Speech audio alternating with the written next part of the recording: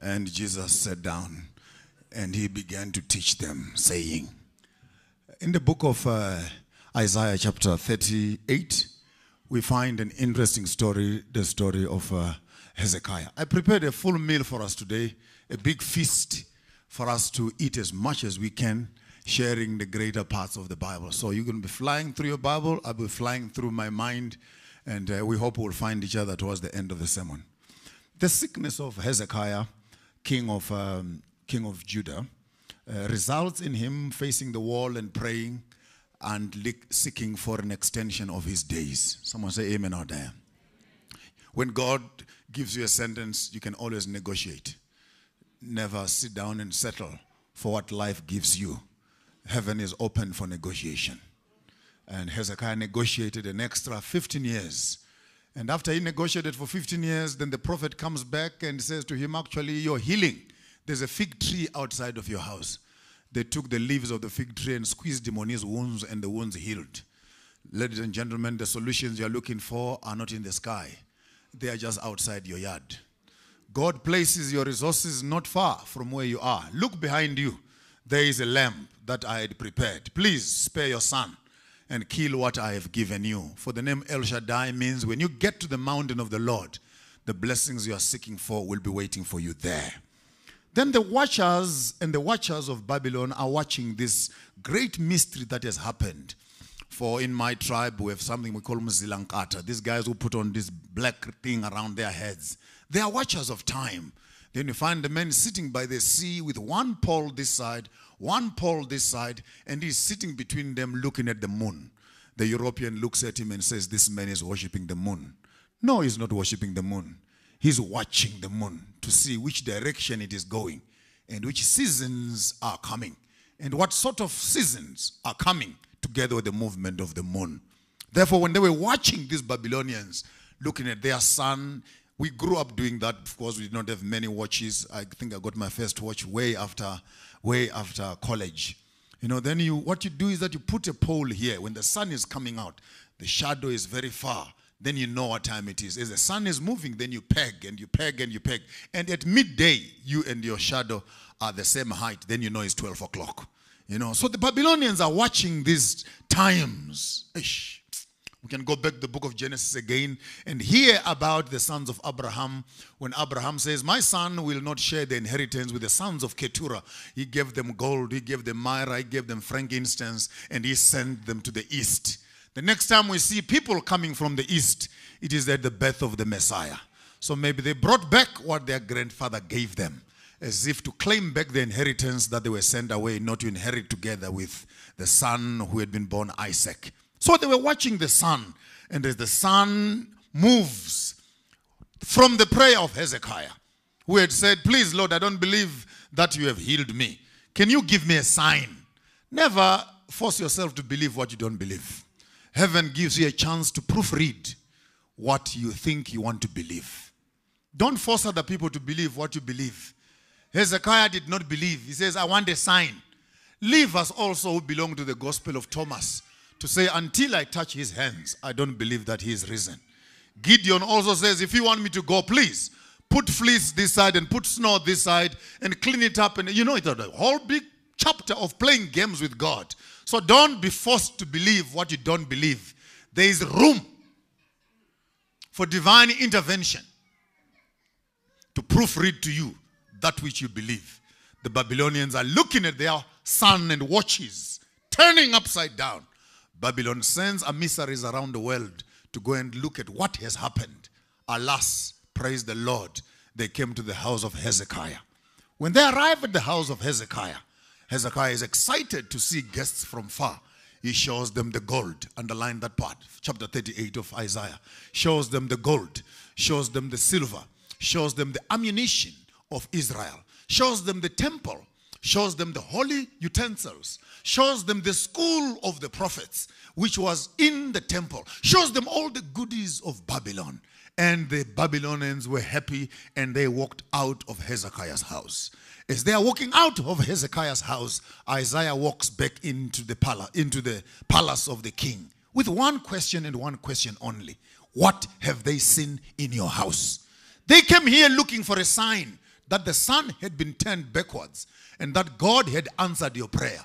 Instead of you telling them, I prayed, I asked God to move the sun backwards, instead of praising the Lord for what He has done to you, you decide to, to gloat and display the opulence of your own wealth, the refinement of your own ammunition, the reserves of your own gold, and gloat about the glory of your temple. What have they seen in your house? And for all the young people in the house, and the married, and the rich, and the famous, that which you show them, that's what they come to collect. You didn't hear me out there. I feel like preaching in this place. That which you show them, that's what they're coming to collect. You will not appreciate Daniel chapter 1 until you understand this precursor right here. The Babylonians came seeking for the miracles of God. Hezekiah was too consumed in his own wealth and forgot to tell them what God has done. Instead, he went material. Then the Babylonians started planning for war. Chapter 1 of the book of Daniel. And they came and besieged the city of Jerusalem. Spare me the details. After they besieged them, Jerusalem gave in. Jehoiakim, king of Judah, was handed over into the hands of Nebuchadnezzar, king of Babylon. Enjoy the rest of the passage. And when they captured them, they went into Jerusalem. Ah, they went to the temple. They collected the gold. They collected the silver. They collected the holy vessels. They went underneath in the schools of the prophet. They collected the finest from the school. They collected everything that had to do with their own gods of the Israelites and moved it to the temple of his own god, Marduk, back in Babylon. Now take note. Careful. Careful. This war is not about materials. It's a war of gods. You didn't hear me out there? It's a war of gods. Because if your God is weaker than mine, then my God overpowers yours. And when we conquer a king, we conquer their God. Just remember one thing next time you're fighting that you're not fighting for yourself, you are fighting for that which protects you. And when you expose yourself to weakness, you have just sold the essence of your very God. Then the God of the Israelites was captured together with his people. Take note. I once preached this sermon the other day and I got excited. What do you do when your God hands you over to your enemies? Who will protect you from the from your own God who has handed you over to your enemies so that they can fix you? So let's look at the colonial project from the aspect of the book of Daniel chapter 1. Firstly, when you colonize a people, Eurocentric religion coming to Africa, when you colonize a people, number one, besiege them, surround them. Maybe that talks to our borders. Confine them within a certain space of limitation so that those that are outside cannot come in and those that are inside cannot go outside. Reduce the amount of resources and information that they receive. The other day, I heard someone from South Africa saying, I'm going to Africa. Then I knew that South Africa, especially South Africa, is not part of Africa. Because in the midst of the apartheid regime, you were closed away from the rest of the world. That's how you colonize the people.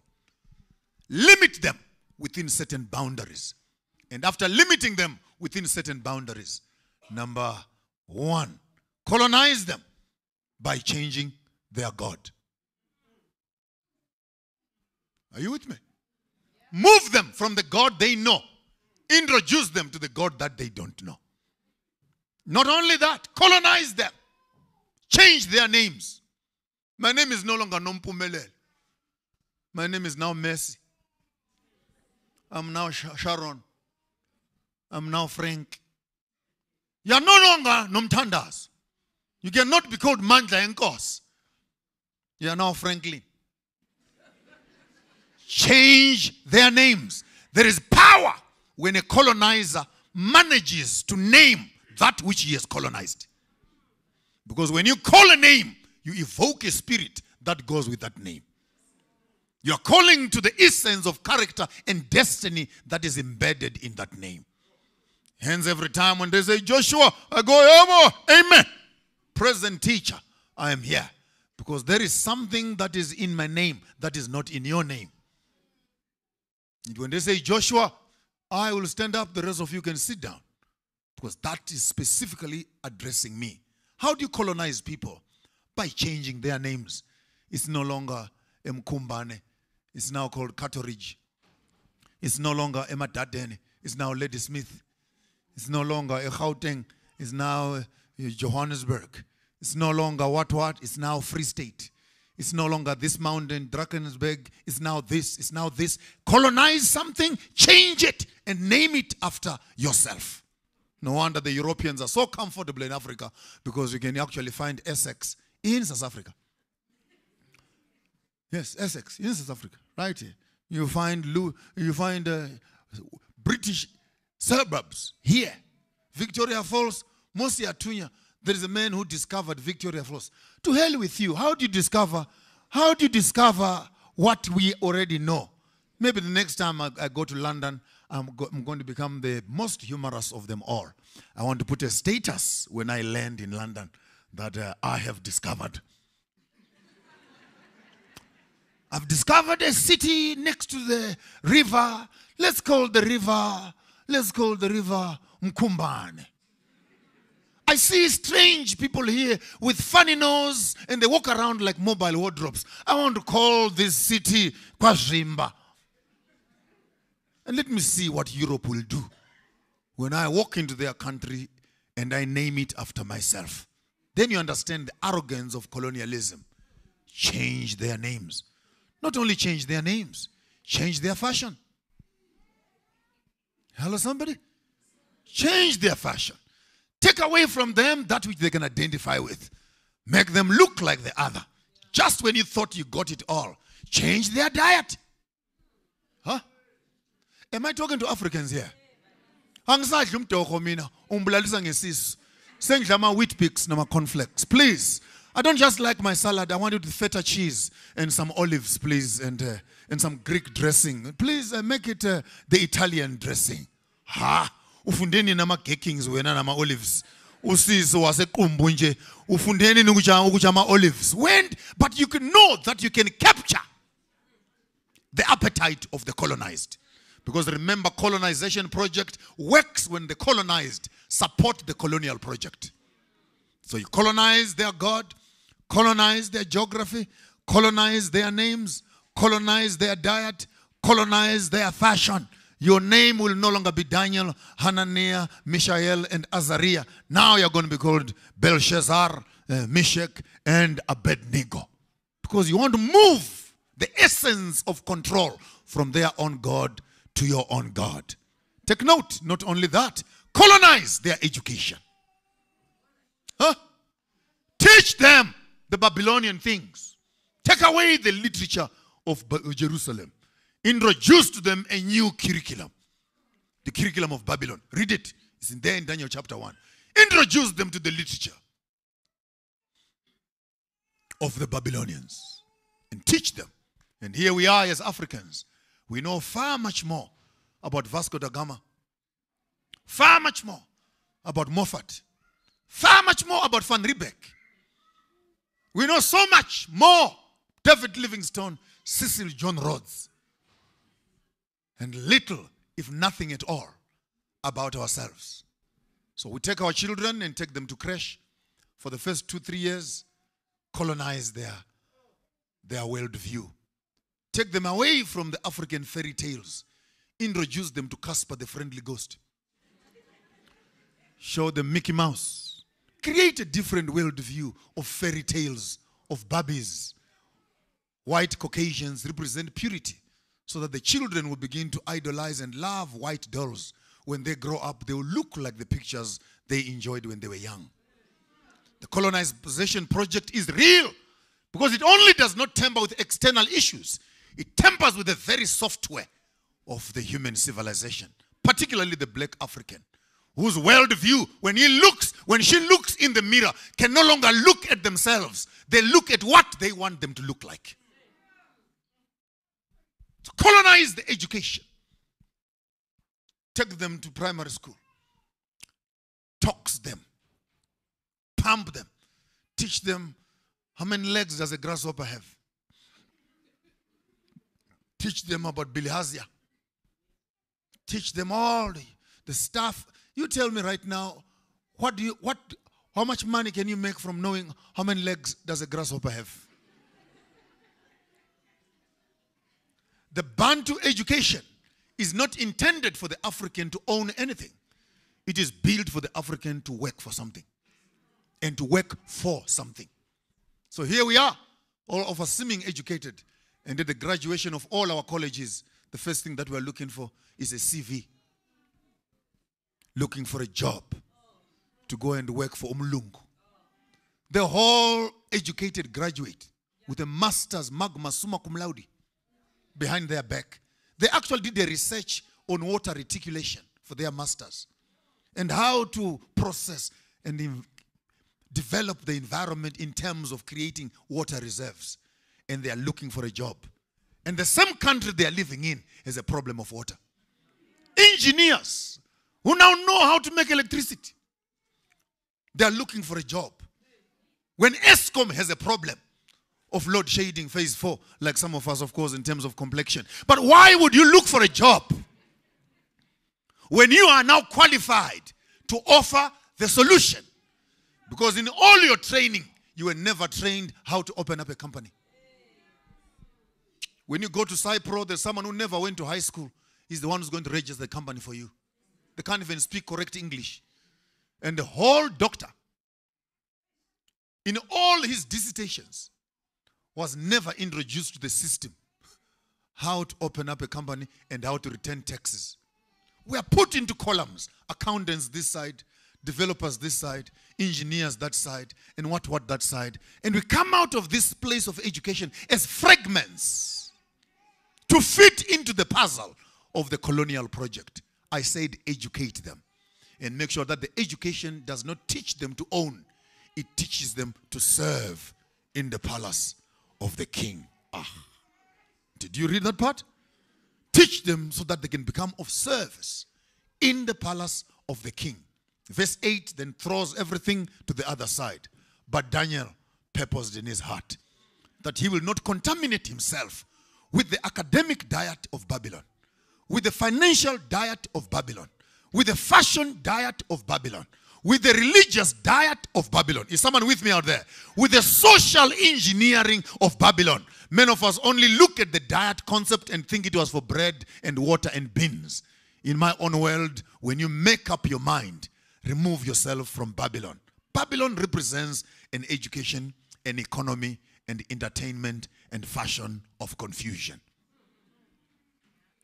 And some of us have become custodians of that colonization project. We've become supervisors to check other children who are not complying to the colonial project. And then you walk up to them. Where do you think you're going looking like this? Who dresses up like this? I do. Who talks like that? I do. Who plays music like that? I do. You got a problem with that? Go to your colonial masters and tell them that some people have now revolted. They no longer find glory in the colonial project. I purpose in my heart not to contaminate myself with the diet that the king of Babylon has prescribed. This is how you eat. This is how you dress. This is how you think. So here I am sitting with fellow Africans, the result of 400 years of the colonial project, sitting around in a place of worship. I wonder if we worship what we know.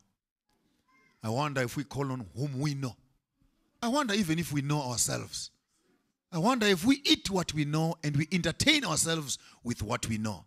Daniel purposed in his heart, or that you also may purpose in your heart, not to contaminate yourself. Give us beans, vegetables, and water. I like that part there. And they were 10 times better than everybody else. There is grace that covers effort.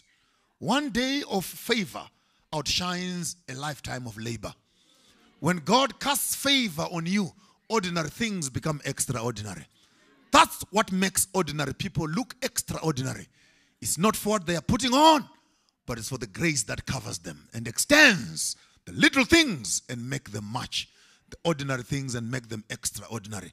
They were 10 times better. Go and read it again in complexion, texture of skin. Huh?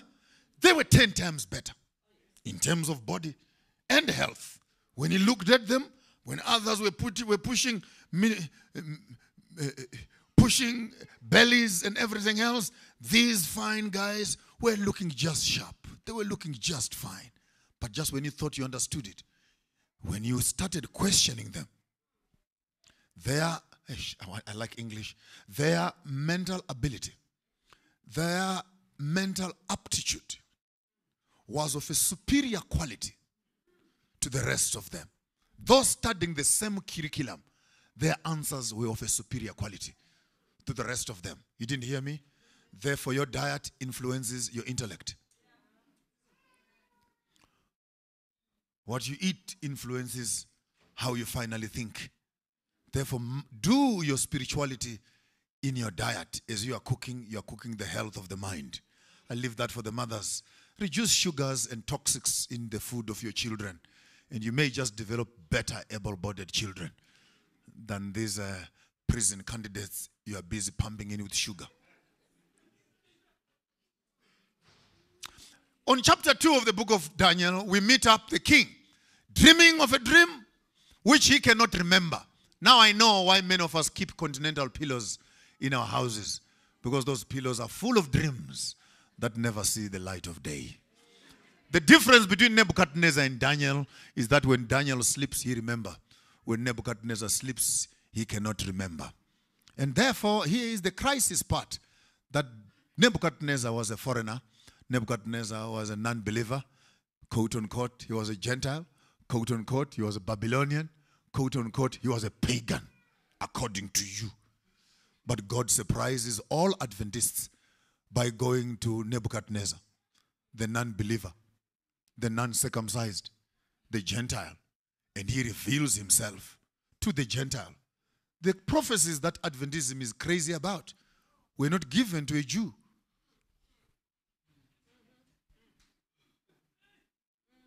They were given to a Gentile. Right now, if a non Adventist would walk up here, the church body would sit. No non Adventist addresses us at 11 o'clock. We don't take people from outside to be talking to us. Maybe go back to the book of Daniel, chapter 2, that God can work. memorize uthixo ningamkremi ningammanage uthixo It's not your project that you must say he only works like this, he can't work like that. There's modus operandi, common way of doing things. There's modus vivendi, irregular way of doing things. But either way, all things work together for good for them that love the Lord. Stop putting God in the confines of your own limitations, especially if you have a small mind. Allow God and the broadness of his mind, for as high as the heavens are above the earth, so are my ways above your ways. And of course, Nebuchadnezzar was black. In case you don't know Nebuchadnezzar, then find out who was the father of Nebuchadnezzar. It was Cush. Who was Cush? He was the son of Ham. Who was Ham? The father of the black people, the son of Noah, son of Lamech, son of Methuselah, son of Noah, son of God. Oh, now we know that Nebuchadnezzar, he's a black man who was given a vision. And Abraham was called from Ur of the Chaldees from the Babylonian kingdom also. That's for another day. Abra, his name was Abram until he met God. And says, Your name is no longer Abram. You are now Abra Dash Ham. Do I have academicians in the house? You were Abram. Now I said Ham is the father of Cush, who is the father of the black people. And when God gives him a name, he says, Now you are Abra. Ham now you are the father of Ham. So this thing is not as foreign as we think maybe it is. Maybe actually this thing is named after us. When we say we're sons of Abraham, maybe in that context, therefore, we need to claim the entire estate of the biblical space and assume our positions, for we are the Hamites, the sons of Ham, who are now having Abraham as the father of faith. Do I still have you in the house? Dreams a dream, dream of gold, dream of silver, brass, and etc. Traditional interpretations, let's put them on the left as you already know them. Let's get to some certain meat. Life is getting cheaper and cheaper by the day. From the gold that you once were, have you now reduced yourself to silver? If you now become brass, if you now become iron, very soon I'll be called to bury you dust to dust. For everything goes back where it started. In the golden years of your thinking, please keep your thoughts pure as refined gold. Make your principles and secure them like silver. Keep your morality in the space of brass and be upright and true. Work hard for that which you believe, for sooner or later life will powder you into dust. You may not be remembered. But when you become dust, we hope that the stone will be standing on top of your life to create a new life for the rest of them that will come after you. Someone with me out there? Just when you thought you understood it, maybe that's what the colonial project was all about. Go to Africa, collect the gold, collect the silver, collect the brass, collect the iron, and just leave them with the dust. Just when you thought you understood it, maybe the prophecy of Daniel actually has to do with the development of our economies, the development of our politics. The finest hour of all politics was Babylon. Ask me why. Ask me why. Babylon and Nebuchadnezzar was the most educated of all presidents. In his parliament, he did not have a parliament of monkeys and buffoons who all say, Yes, sir, viva, viva, viva, viva, viva, viva, viva, viva, Amandla, Amandla, waiting away to Amandla. No, Nebuchadnezzar was more intelligent than all of us put together. In his parliament, he did not have fellow political sympathizers. 60% ANC, 20%, 2%, 3%, IFP, EFF, DA, and what. No, Nebuchadnezzar was of a different brand. He sits on his chair as a king and he says, Please put me witch doctors on the left. Bring me mathematicians. Bring me necromancers. Those who read the stars, astrologers. Hlalani Pans madoda, hlalani phansi. Those who read palms. And all the sciences. So when he is consulting, Nebuchadnezzar says, okay, we want to build a road. It in witchcraft. It in science. It in astrology. nina nifundi izandla zithini izandla lapha. Zithini izinyanya namathongo. What are the clouds so, so that in the midst of him consulting he consulted widely. And i think that what why god says nebuchadnezzar you are the head of gold. The best of all thinking that we can think about babylonian remains the best of them all. No one in all our presidents put together has been able to reach that excellency of intellectual capacity to contain in one room such a diverse, plural concept. Nebuchadnezzar did not have a university, he had a multi-varsity. Uni speaks to one corridor of thinking, the Western school of thought. Multi speaks to multiple views of world view. Christians, what do you say? Traditional people, what do you say? Hindus, what do you say? Buddhists, what do you say? Consolidate all that together and come up with an opinion. Then you are a president representing the nation. That is the strength of the mind. And from Babylon, Medo-Persia, with their rules and regulation, governance. How do we write our rules? Once we write our rules, let's not change them, even if they are evil. No wonder we are struggling in South Africa. I watched the Osona and my heart was upset and I almost puked when I saw a bunch of African people marching with some small little stupid trumpets. Well, right, left, right, left. Of all that killed me, then I heard some Spanish, Scottish pipes. Whatever melody was being played there, only the Scot people will understand.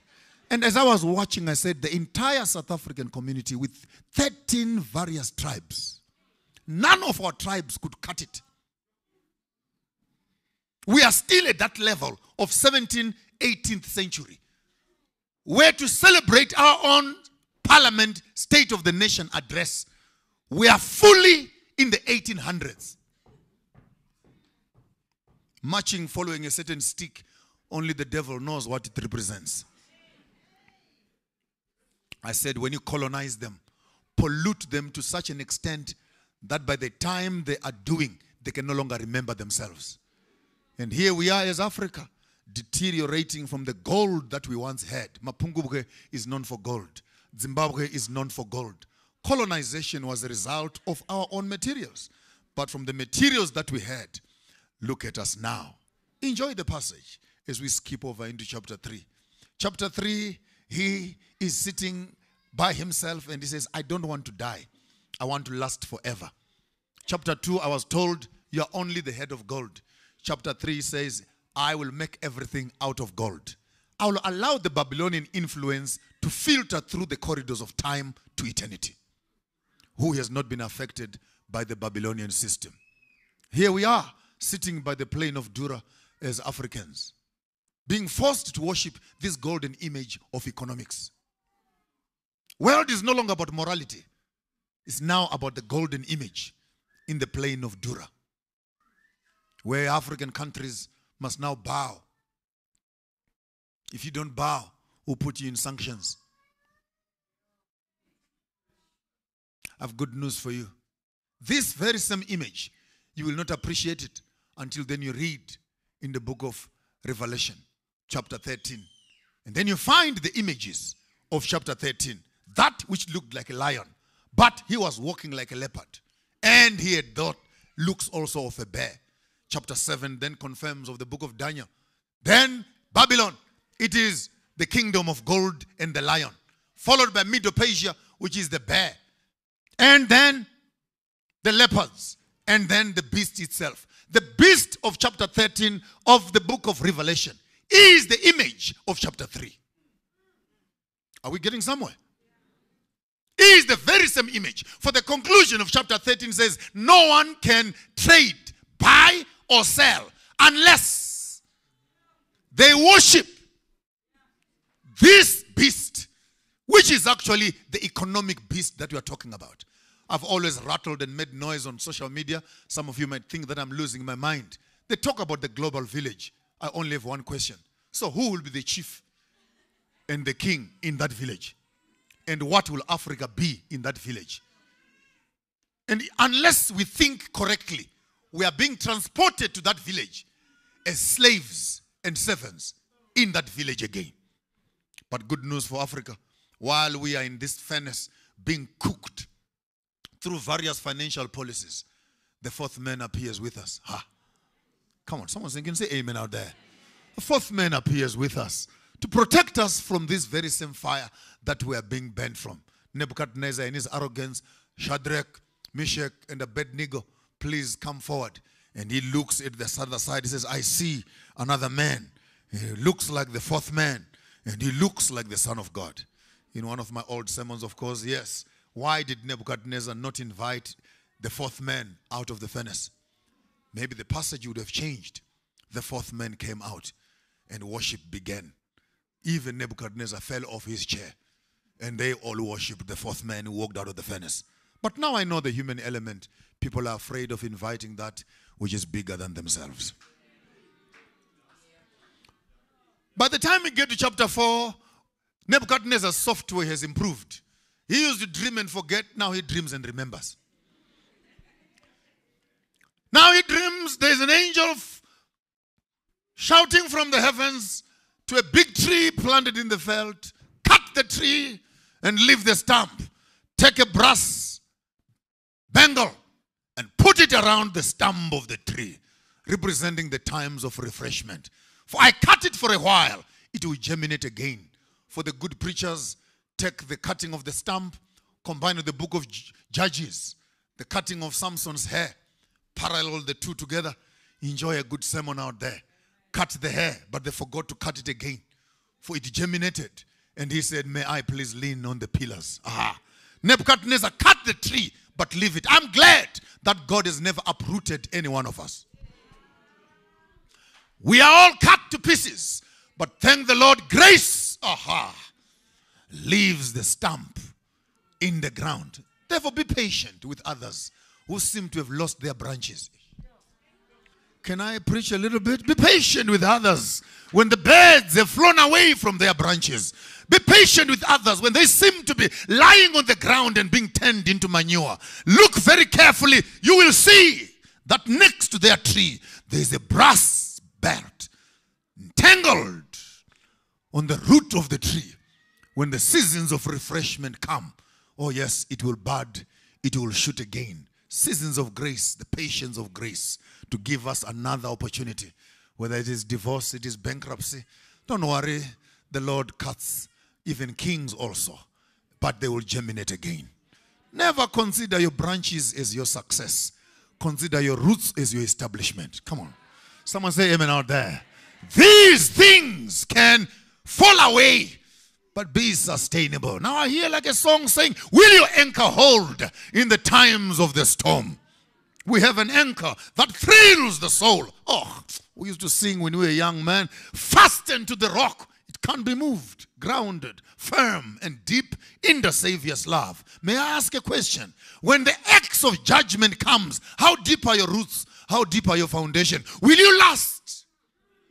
A moment after the pride of your home and children and husband has disappeared. I say, when the Lord cuts you down, stay on the ground. Remember, there's a brass belt around your waist. Wait for the seasons of refreshment.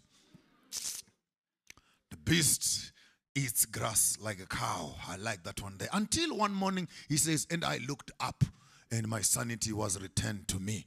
Aha. When only when you look up will sanity be returned to you. By the time we get to chapter 5, then we understand Isaiah chapter 38. For Belshazzar, who had been named after Daniel Belshazzar, the grandfather Nebuchadnezzar thought that Belshazzar, the grandson, will be as smart as Belshazzar, Daniel. So he named his own grandson Belshazzar, hoping that by osmosis, perchance by osmoregulation and association or diffusion, somehow, somewhere, by putting a more noble name of a man who had demonstrated power and wisdom. Take this name and give it to your child. It's never too late to give your children names of wisdom and intelligence. Maybe, just maybe, even if they are stupid, at least let them carry a good name. May just remind them of who they are. But Belshazzar, at the peak of his mischief, says, Please bring me back those utensils and let us eat and drink from them in front of his concubines and. And he started drinking from them. I like that one also. And then God visited the party uninvited. Two guests were not invited. It was the grandmother of Belshazzar and Daniel. For only then do we hear that they were called in. But the passage said all of them were invited. So don't always be part of the all. Aha. Another day we'll preach on that one, yeah? You can also be exempted from certain places. And you can only be called upon when it is due and it is necessary. The grandmother comes and gives the grandson a lecture. Your grandfather was arrogant, rude, just like you, constipated with success until God cut him to the ground, released the entire yesterday. But you have not humbled yourself. Call Daniel, he will come and tell you what has happened. I will make him the third in the kingdom. Now I know he was not even in power. Because if you were in power, you were going to make him the second. But he was going to make him the third because his father was still alive. So don't abuse authority. You are not the final word. He takes off the gold, takes off the gown, and puts it on him. While he's dressing him up, the Medo Persians broke through the barriers of Babylon, sneaked into the night into the city of Babylon, rushed up to the temples where the party was taking place, for the entire city was silent, except the noise was coming from this palace. When they went in, they they butchered everybody. But as tradition has it, please don't kill the king. And the only thing they knew, there's a king in Babylon. And when you know the king, look at his head, you find him with a crown. Look on his neck, You find him with a with a with a chain. He will have royal robes on him. In case you have forgotten, ask his name. His name is Belshazzar. Let's go back to chapter 1. And Nebuchadnezzar named him, not Daniel.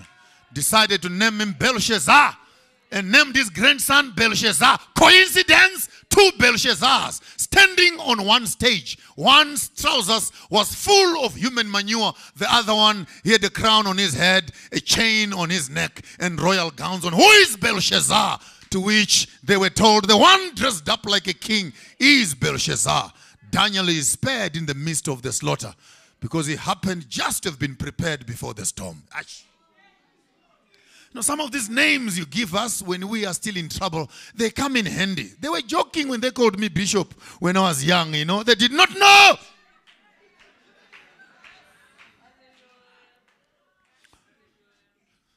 That that which you may have considered to be a disadvantage, God turns it for grace. I think my time is up actually. Mom Ruti is, she always tries to manage me. She's been going like this for the past five minutes.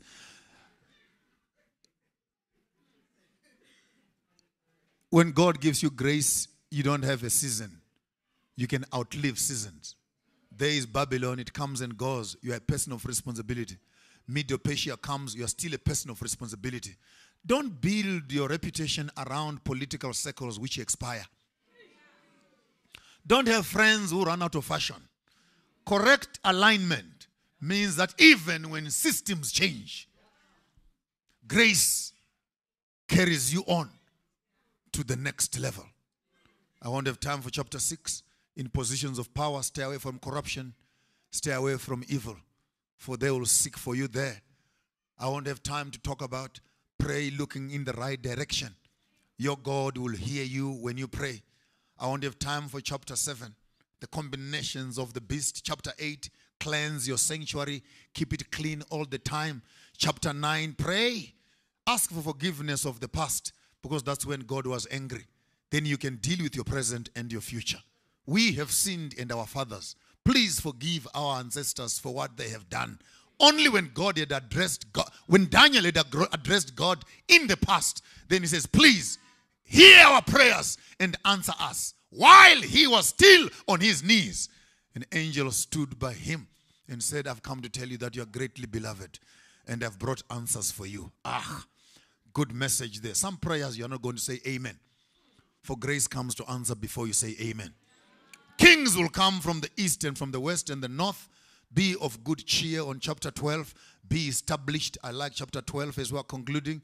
And at that time of the great confusion and chaos, when others are cleansing their sanctuaries and everything else, Michael, the great archangel. I know Michael.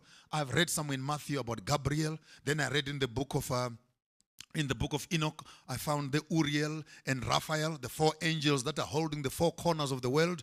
But on chapter 12, then Michael, the great archangel, I know Adventists want to make Michael Jesus. Let's leave that for Sabbath school lessons. But the Bible says he is an angel who stands up with healing in his wings. Thousands who lie in the dust of the earth. Some will be raised to everlasting life, some to everlasting contempt. Now come back to chapter verse 9, 8, and somewhere there, 4, 5, 6, and 7. And many of the righteous will purify themselves. That's again on chapter 8. And make themselves blameless. That's chapter 1, verse 8 of Daniel purpose in your heart to separate yourself, purify themselves, and make themselves spotless. But the wicked will continuously be wicked, and none of the wicked will understand. But the righteous shall shine like the stars of the morning. And the last verse in the book of Daniel But as for you, Daniel, go your way and die. Join your forefathers. You shall receive your rewards at the allotted time. Now go to the book of Hebrews, chapter 11. And all these died in faith. They did not receive their rewards thereof. For God had purposed that together with us, their rewards might be made perfect. What more shall we say? For time will not allow us to talk about all the patriarchs of old who gave their children to be bent. Some of them bent on the stakes, some of them cut in half because they believed that God had something better in store together with us. Chapter 12 of the book of Hebrews then concludes the story. We are therefore surrounded by a cloud of witnesses. Let's put aside all the colonial things that easily entice us. All the weights that entice us. But looking up to the author and perfecter of our faith, who for the joy set before him endured the cross, despising the shame. Oh, that may the Lord bless us and grant us the blessing.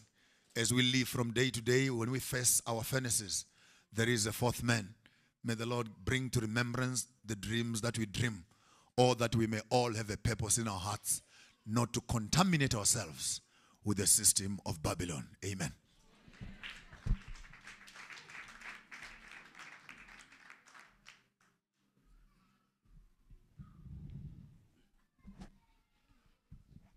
Thank Mfundisi. Um, can we do the closing song, number 100, first and last stanza? May the church stand as we sing number 100.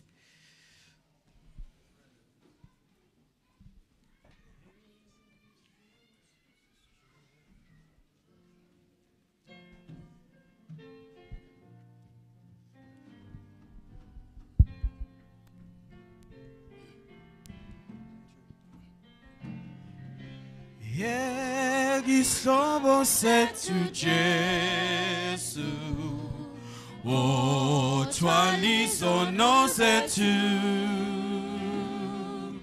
Kuhlukusa konke kuye Ngakho ukukhuleka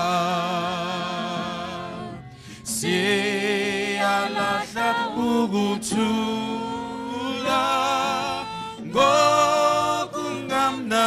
kwetu